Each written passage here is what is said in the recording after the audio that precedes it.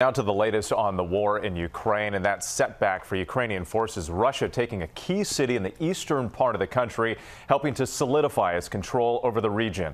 Our foreign correspondent Tom Soufi Burridge is on the ground there in Ukraine with the latest. Tom, good morning. Good morning, Whit. Yes, the Ukrainians are being overwhelmed by the Russians out in the eastern Donbas. It's a brutal artillery fight, and despite new weapons for the Ukrainians from the US and the Europeans, the Russians are winning.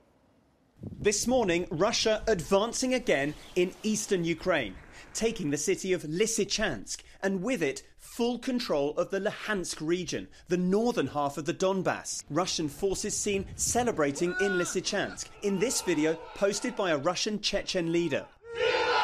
But look at the destruction Putin's offensive brought to the city behind this reporter from Russian state media. The Kremlin controlled channel also showing Russian and Soviet type flags placed on state buildings. President Zelensky confirming his troops have retreated from the city, saying it was done to save the lives of soldiers. In Kiev, we spoke to a former US Army infantryman fighting for Ukraine who just returned from the front in the Donbas, asking us not to use his name, saying Ukrainian troops are completely outgunned. The front line is basically just the Russians shelling you constantly, indirect fire with either mortar systems or regular artillery. It's really, really, it's hell.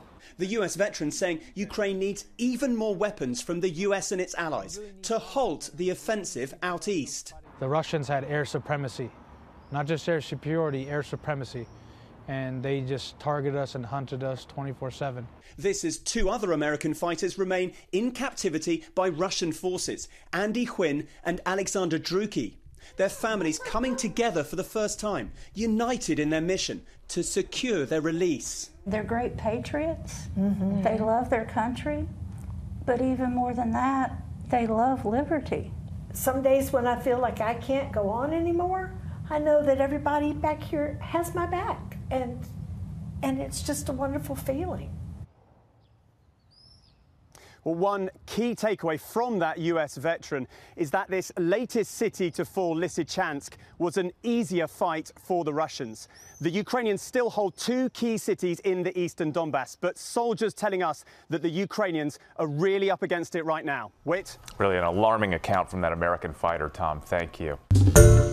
Hi, everyone. George Stephanopoulos here. Thanks for checking out the ABC News YouTube channel. If you'd like to get more videos, show highlights, and watch live event coverage, click on the right over here to subscribe to our channel. And don't forget to download the ABC News app for breaking news alerts. Thanks for watching.